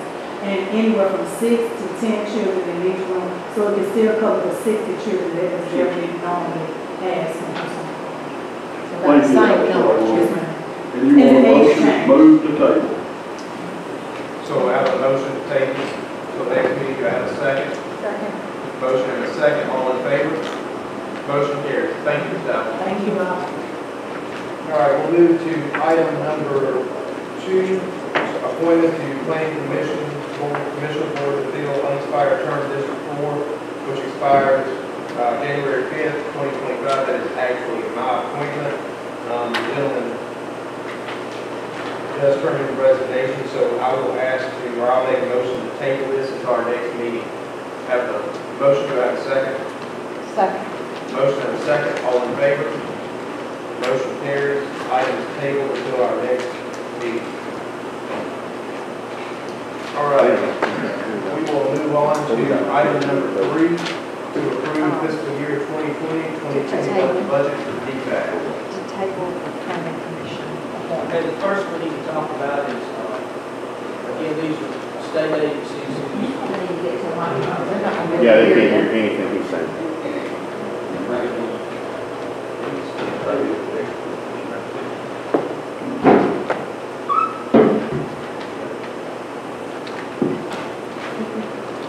I have a budget, uh, Baptist deacon, so I'm not preaching to you. The uh, budget question we're looking at tonight are state agencies whose budget begins on July 1st. That's we need to to talk about it. You've got in front of you the spreadsheet that I prepared, plus all the requests. The first one is the Department of Family and Children's Services. Uh, You'll see that over the past five years, their uh, budget appropriations started back in 2015 at 10,000. We increased it to 15,000 in 2017. And then in 2020, we, you guys increased it to 20,000. They're asking for 25,000 this year. And I got some uh, more information from Mrs. Lovett, and which you have there in front of you. The decision would, would would be to stay at the level of 2020 or increase it to, uh, to 25,000, which is the question. And I will speak on that just a moment, because I came off of that board at the beginning of this year. I do know that there are a lot of needs, there are a lot of children, there's not enough foster parents within the county here in Marion County. So we are actually having to foster those kids in different counties throughout the state of Georgia. Transportation costs a lot, um, some of those, when we don't have other homes to place children in, they're having to place an adult into a hotel room with a child and house them. So I do know that that, some of that cost is not covered by the state, it does fall back on the county. And there is a definite need within that department to help maintain these children. Any other commissioners have any comments? Mr. Chair, I guess more questions, uh, um, Mr. Bill. I mean, I, I can see where the cost could be justified, but if you look through most of these requests we got, there's lots of increases. So these are budget items to approve now, we still got the whole rest of the budget to do. So in your opinion, how do we stand for as projected revenues and everything is an increase so far? That's a tough I mean, it's a forty thousand dollar on the next one. Yeah, we that, got that's, up. that's the big hit. Yeah. And we don't have any choice really about it. Maybe we don't. Uh, I would like to say that revenue is gonna increase, but we really don't know that, not until the tax, the tax digest comes out in a couple of months. So do we know the total size of items that we removed prior to starting the meeting tonight? Do we know the total amount being requested? Increase, Yeah. uh, forty thousand in the DA's office, five thousand pre-tax, about, uh, I mean, roughly like five, eighty. five thousand, so it's forty, forty-five thousand. Would it, would it be uh, appropriate to have the board say that they would approve the funds we did last year and then request for increases, we would look at it again later in the year and see how our revenue could move? Would that be, Uh, that would have to I mean, they got to do their budget too. Right. I mean, I understand that. Or uh, could we propose that maybe we cut it in half, or if they're asking for five thousand, to do that two thousand five? And meet in the middle. Yeah, On some we can. I mean, say, we well, have to. the DA's office, we're not gonna have any choice. But all of them, no. She, she said that she'll, of course, accept whatever you decide on that. She's going, so I want a five thousand dollar increase. I think go with two thousand five hundred, we cut it in half, that way we should. So are you making a motion to increase it by twenty, I motion twenty-two that thousand we cut dollars? yes, two thousand five. I put it in the form of my motion. I'll second. Okay, so we have a motion and a second to allow the DFCS budget to increase to a total of twenty-two thousand five hundred dollars. For a total increase of two thousand five hundred from last year. Have a motion and a second, all in favor? Motion carries. Mr. Chair, Yes, ma'am. I, I'm gonna ask you something. You know, the state budget, there's a proposal that it may get cut to, um, and their, but their fiscal year starts in July. So, um, like the chairman, I know the importance of what DFCS does in our county. They do a great job with a little bit of money. If there's, uh, if they had to come back and ask for an adjustment, do, are we able to do anything later on? or Are we stuck in what we have? No, ma'am, they, they could come back in six months, or we could ask them to come back in six months and reevaluate it. Yeah, because, I mean, I, I hate to say this, but unfortunately during the COVID-19, domestic violence, child abuse, all this has increased during this time, and unfortunately, there will be more children in a predicament that may not be what we want, but unfortunately, it is what it is in a sense, and that we may have to be able to provide more service at a later date. I just want to make sure that if there was a need, six months or eight months down the road, and if there were no other options, could they come back to us? Sure, And I'll be glad to reach out to you. You may recall, a couple of months ago, the government, the governor said, he was asking the state departments to cut their budgets by fifteen Fifteen percent. Percent. That's down to eleven percent now, Okay, They lowered it some. that's good. based on the The amount of rev- revenue projection. Right.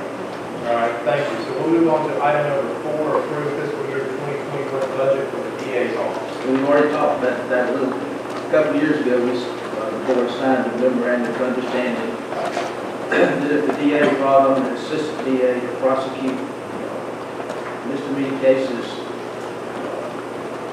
uh, quasi-state court, Judge Rash, uh, preside over, it, uh, in twenty, if they would do it for two years at no cost, and then twenty-eight, excuse me, for, uh, budget twenty twenty-one, we they would ask for a forty thousand dollar increase.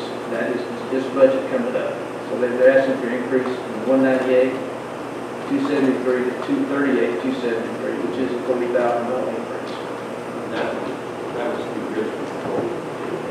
So that's just that, that person. Yeah, that's just. That's just the, So hearing that from what the DA has requested and per what we agreed to a couple of years ago, do I have a motion to approve the $20,000 increase for the DA's office? Mr. Chair, it appears we don't have any choice. I move we go ahead and approve the budget of two thirty-eight, two seventy-three. All right, we have a motion, do we have a second? Second. All right, motion and a second, all in favor? Motion carried. I think you got a copy of the MOU in the packet. You want to go back and review that. We move on to item number five, to approve the fiscal year 2021 budget for public defense. Yeah, this one's a little bit tricky. If you look on the spreadsheet, you've got uh, a couple of different boxes that are redded in, colored in and red. Uh, Original, they're asking for $177,771.30. That includes a 4% pay raise for their staff the local staff here in Greenville, plus another five percent administrative fee to state on salaries and benefits. Darren and I talked to him last year, and he declined, the board declined to agree with that, and we're suggesting that we do that again this year. So what we really need to do is, is decide whether or not you want to give their staff four percent. So what's the total increase that they're asking for? Uh, from one sixty-four, I went one sixty-five up to basically one seventy, about five thousand. But that's, that's both of them though, right? Is that the, that's the four percent plus the five percent? No, no, that's just the four percent. That's just the four percent?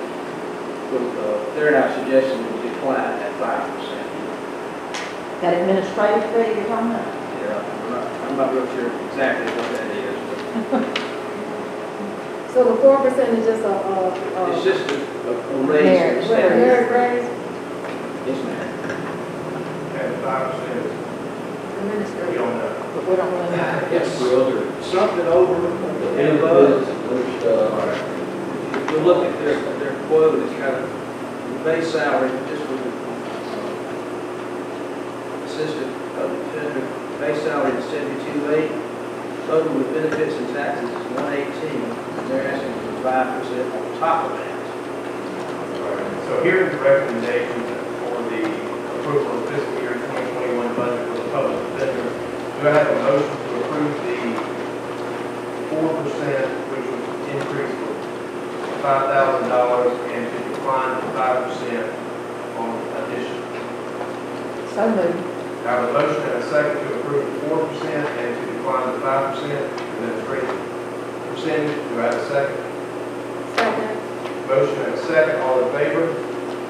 Motion carries. Thank you. Item number six is to approve fiscal year 2021 budget for uh, the Department of Public Health. Their, their request for funding is the same as last year. Yeah, they haven't done it for quite a few years. Let's go ahead and approve it. So do I have a motion to approve the Department of Public Health to remain the same? So moved. We have a motion, do we have a second? Second. Motion and a second, all in favor? Motion carried. Item number seven was stricken from the uh, agenda at the beginning, so we'll move to item number eight, which is approved fiscal year 2021 budget for the library. Uh, their level of funding is, will remain the same as last year.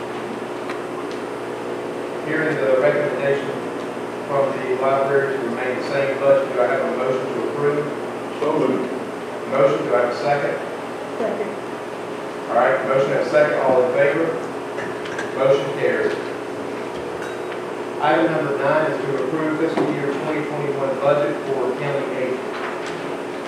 Actually, when uh, Ashley Davis, or Ashley Harmon did her uh, figuring, her budget request was a couple of thousand dollars last, less than last year. You don't get that very often. So it's decreasing to what? To fifty-three, two eighteen. 53, 218? Make a motion to accept. All right, have a motion, do we have a second? Second. Motion and a second, all in favor? Motion carries. Bill, I'm having a hard time here too, right here I'm sorry. tonight. Item number 14, to approve fiscal year 2021 budget for pathways. Their budget request was the same as last year and the previous, I don't know how many years, What's the amount? five thousand. Hearing that, to remain the same for pathways budget of five thousand dollars, do I have a motion? So moved. I have a motion, do I have a second? Second. Motion and a second, all in favor? Motion carries. Item number 18, under the business, approve fiscal year 2021 budget for community action. When Jennifer came before the board last year, she gave, uh, submitted a three-year request for twelve thousand dollars a year. Uh, The board approved ten thousand last year. You need to decide whether you want to get to the ten thousand again this year or the twelve thousand that she's requesting. What's the pleasure of the board? Ten thousand. Is that in the form of a motion? Oh, yes, it's in form of a motion. All right, so we have a motion to continue with $10,000 approval for community action. Do we have a second? Second. A Motion and a second, all in favor? Motion carried. All right, item number 19, resolution for Meriwether County Hazard Mitigation Plan update 2019 to 2024. I have one more thing. Uh, I failed to mention as we were going through, there are several contracts that, that the chair will need to sign, and authorize him to sign those as well. And those are for the, Uh, DFCS, the DA's office, public defender, and the, uh,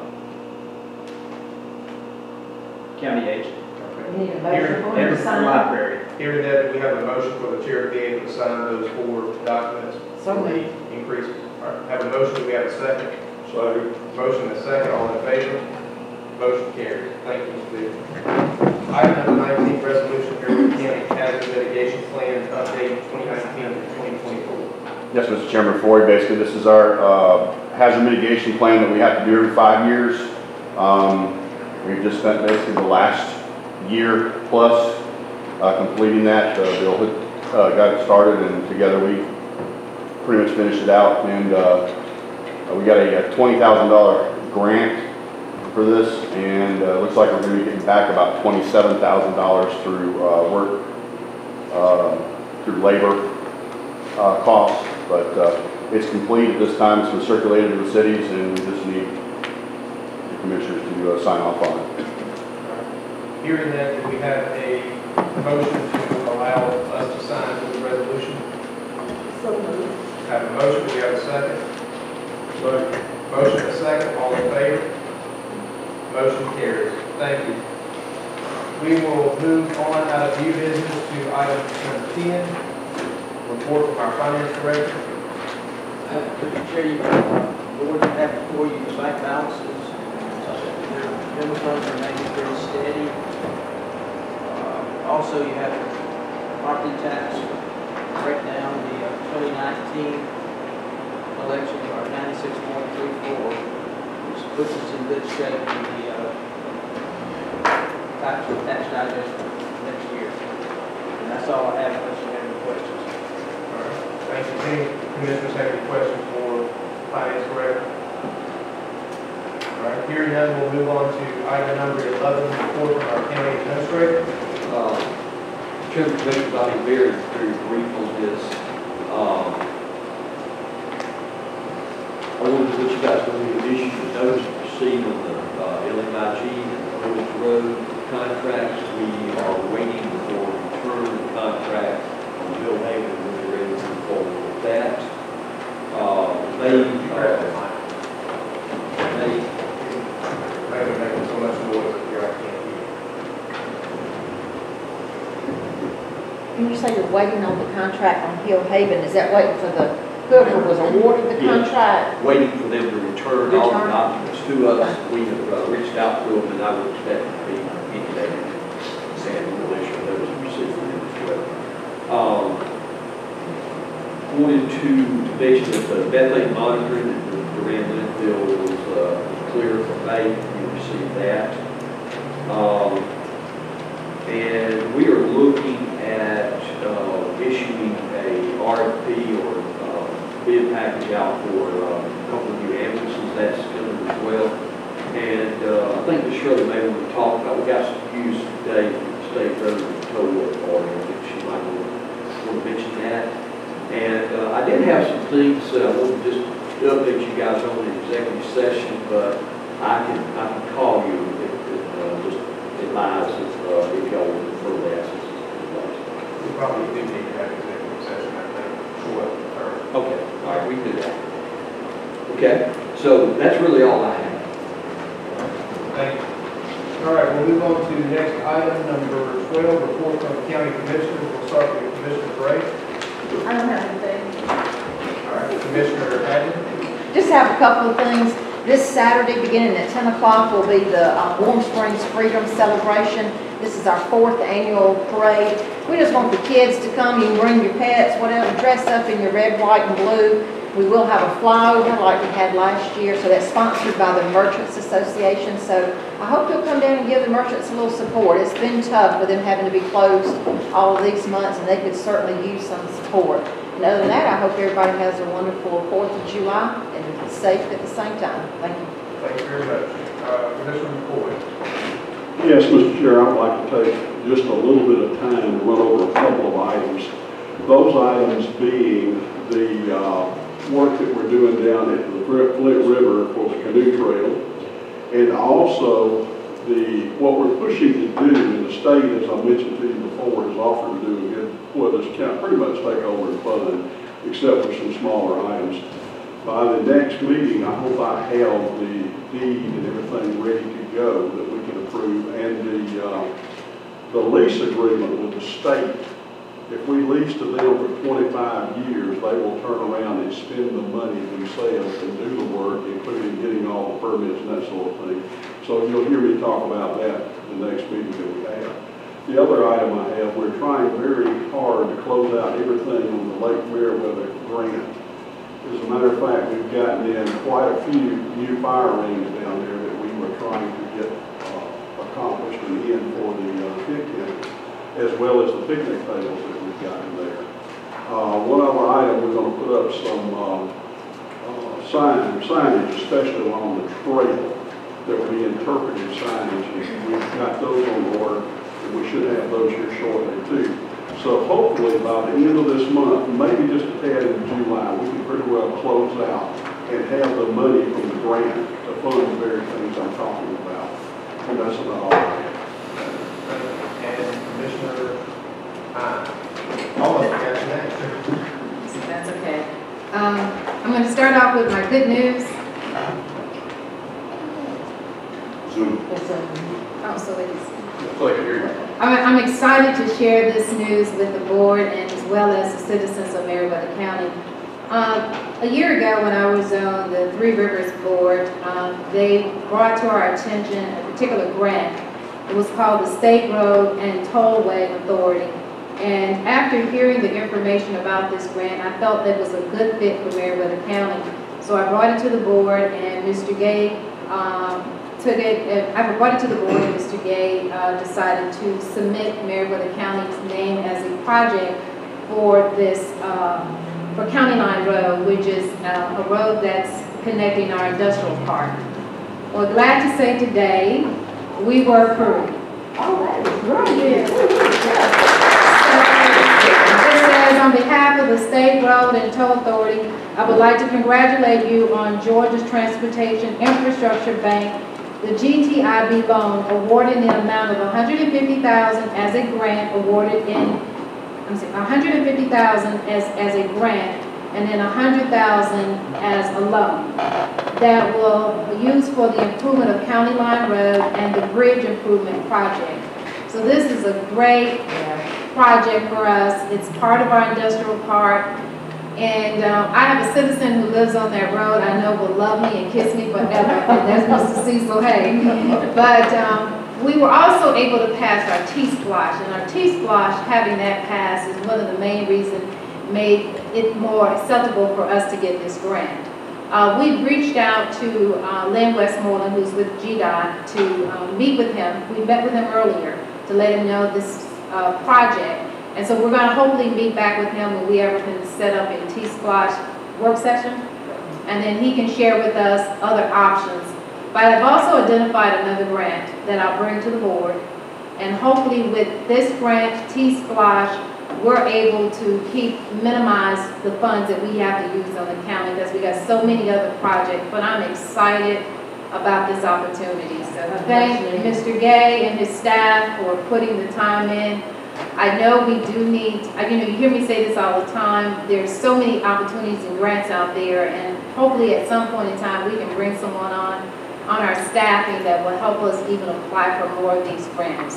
Uh, I just sent another grant out to everyone, it's called Our Town, so if you didn't get the email, I'll send it to you, and once again, this is another good opportunity for us to take advantage of. The other thing I want to mention um, to um, my fellow commissioners, I had sent you all an email regarding House Bill 426.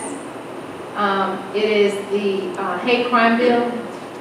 Uh, I was hoping that we could look at it as a resolution, but I'm glad to say that it was it did pass today through the Senate. So Georgia now has a big Congress, uh, and um, you know, this to me on a personal basis help us move forward as a state. And once again, I say kudos to our legislators in making that happen. So that's all I have. Thank you. Thank you very much. And I will pass my time. We've been here a couple hours tonight, so there's really nothing that I have that is detrimental. We will move on to our next area, and that is for our county attorney. I have no report, but it sounds like we need a small executive especially with the current. For possible litigation. Litigation of orders. And then the next item, item number 14, is public comment. We have three individuals signed up to speak. And as I call your name, if you'll go to the podium, you'll have three minutes. We'll time that for you. And the first on the sheet is Arceus Greer.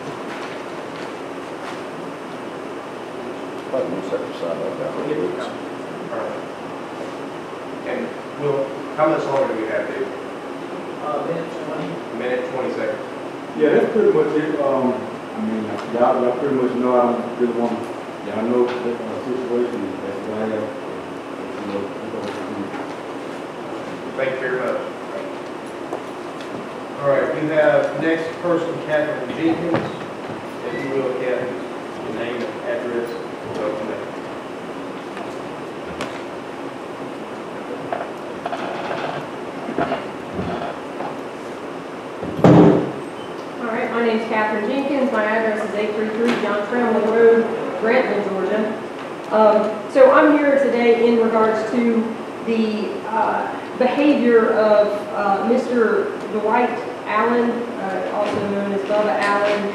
And I- I've become aware of some of his antics that have been um, just beyond the pale. Uh, He's engaged in behavior that has been nothing at, at, at the very least divisive and, and in so many ways unprofessional.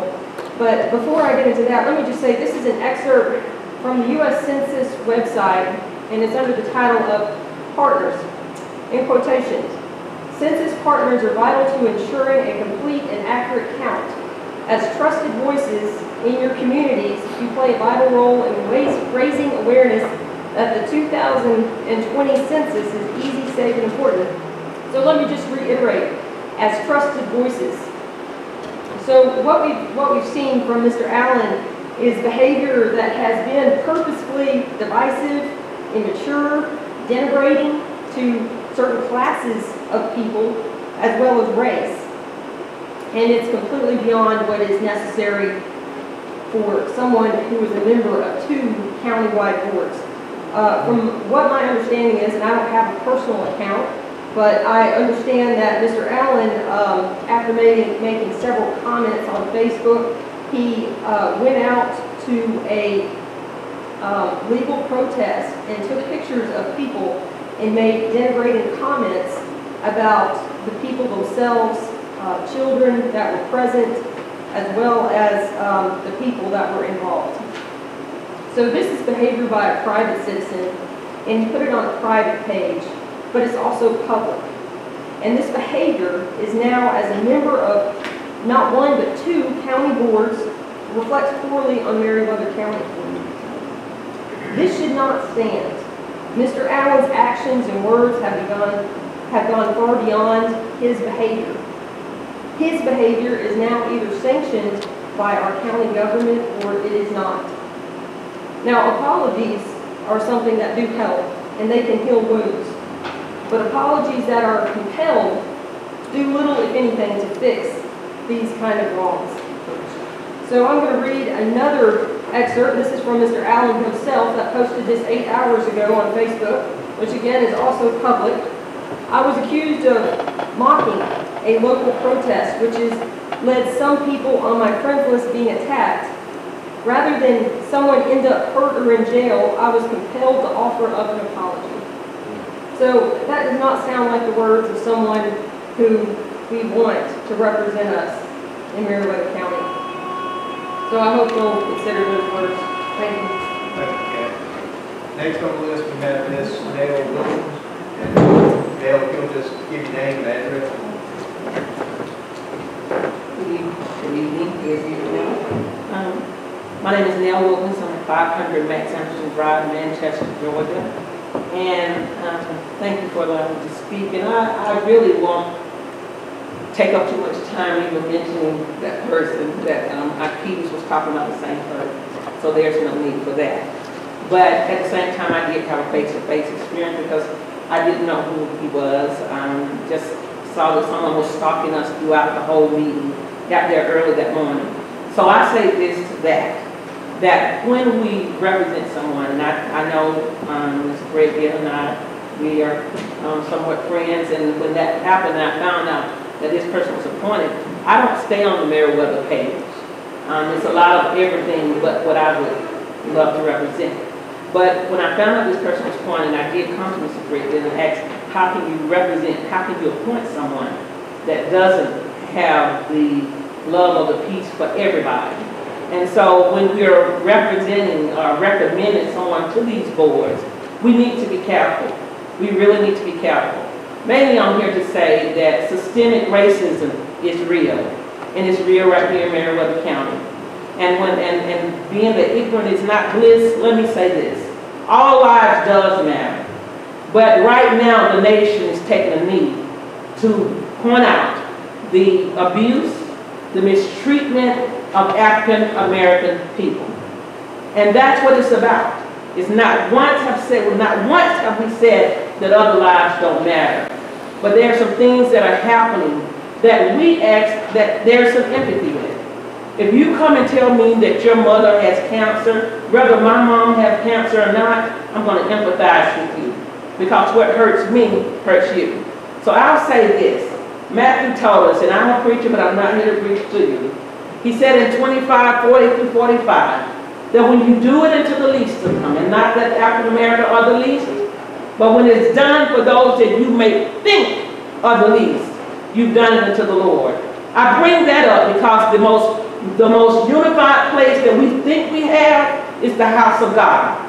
The most unified place that we say we have is in our faith. So I ask all of us, we will continue to do BLM Black Lives Matter because it does matter. And until it matters to everybody, it's ineffective in this whole county. I pray, thank you, sir. I pray that we will stop and have the conversation. Just stop and have the conversation. Let's not overlook it. We love the police, we need the police, but there needs some be, needs to be reform in everything. And there's no one race to blame. We all have to look at ourselves. But I believe we can be better together. As Dr. King said, we either come together as brothers and sisters or we perish as fools. And I don't know about you, but I'm not trying to be a fool in here today. So please, when we are appointing people, please know what they're thinking and how their character is because he stopped us constantly that day. And by the way, the protest started at 11. And if there was only two people there, we stood for Juneteenth, our Emancipation Day, and we stood legally with a permit to protest, not march, along with what was going on. We thought it was on Thursday when we got our permit. On Thursday, not on Friday. So we applaud the efforts there, but we also, I'm requesting that somewhere, we don't need government to have a conversation.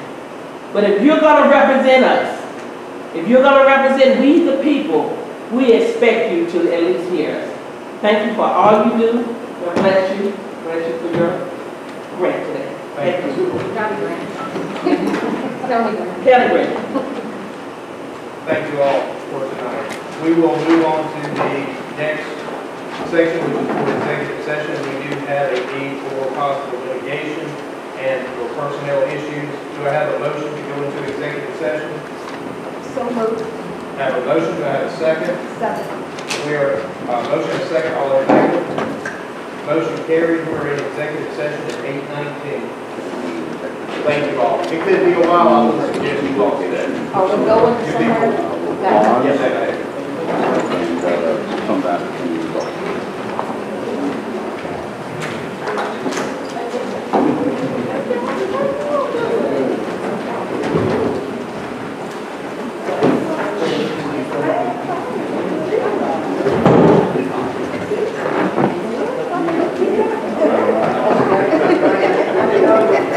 Y'all wanna come this way? Yeah, I'm fixing to take this out of the way. All right. There you go, come on through. All right. Thanks. Uh-huh, y'all have a good day. Thank you. Take care.